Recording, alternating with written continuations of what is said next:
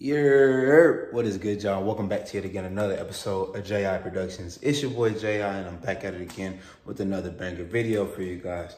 Now, as you guys can tell by the title and the thumbnail in today's vlog, we actually do have a racing video for y'all.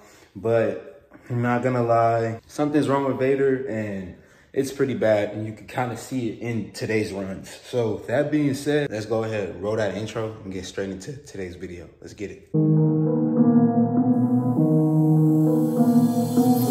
Yeah, what's up with it? Do it cause I love it and I stuck with it.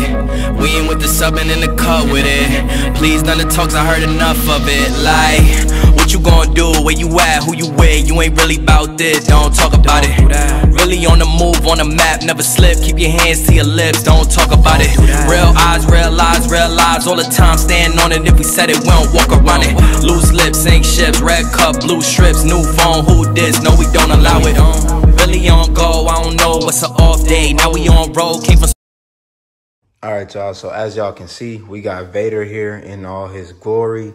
That carbon fiber hood, man, just carbon fibering right now. You dig what I'm saying? But anyway, um, so the topic of today's video. As you guys know, if you've been in the loop with all of the vlogs, man, and you've been up to date with the channel, Vader is throwing a check engine code for the chassis control module, which is basically sparked by the passenger side AFM valve being stuck closed and not opening.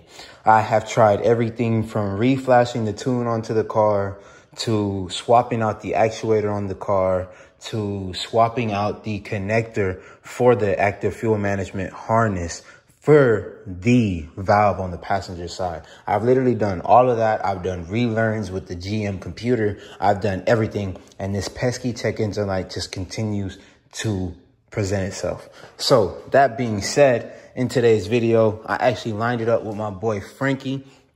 Y'all may know him on IG as Lord Frankie. He has a Holden SS, basically a bolt-on car. Um, I believe it's just headers, intake, no intake manifold, no throttle body, and tune on 93 with some weight reduction. Y'all already know, y'all have seen me race my homeboy before. We've run these cars um, when Vader had the original bolt-on setup, when Vader was bone stock, when Vader had the port work done to it. We've run those car, these two cars up against each other almost every single setup that this car has had. That's my dog, man. every car that I buy, whatever car he has at the time, we've always raced, always gone. You know, it's just for fun, man. Fun runs with the homies type deal, man. So that being said, um, we were all together, me, him, Alex, my boy Raul and his brother, my boy Charles. We are all out on Sunday grabbing some content for you guys that y'all will see on my Instagram, JI Productions underscore, and also my boy Alex's Instagram and my boy Frankie's Instagram. All three of those will pop up on the screen, and my boy Raul's Instagram. All four of those actually will pop up on the screen, so make sure you tap in with those. Um, but yeah, man, we ended up running the cars and the outcome was not what it was supposed to be. So what I'm going to do is I'm going to run the clip from the run that we had. Um, we did do a dig race and we did a 40 roll. I don't have the footage from the dig, but I do have the footage from the 40 roll, which is perfect because I'm going to run that footage from Sunday. And then I'm also going to run the footage from when the car had just gotten tuned and we raced a 40 roll before the previous 40 roll and the current 40 roll and you guys are going to see the difference so let's go ahead and run them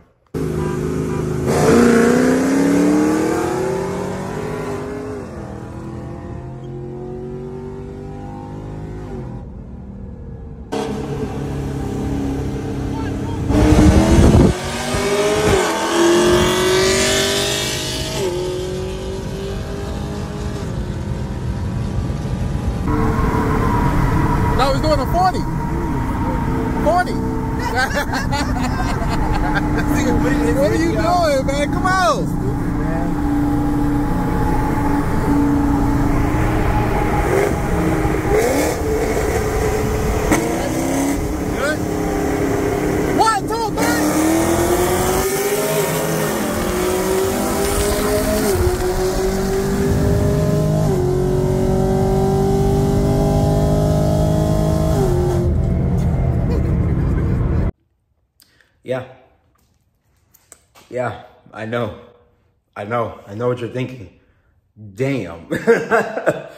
wow. They ask you how you are, and you just have to say that you're fine when you're not really fine, but you just can't get into it because they would never understand. you feel me? Um, honestly, y'all, I really, I don't even know what to do at this point. Um, I'm really kind of leaning towards getting the car retuned. Um, I don't know.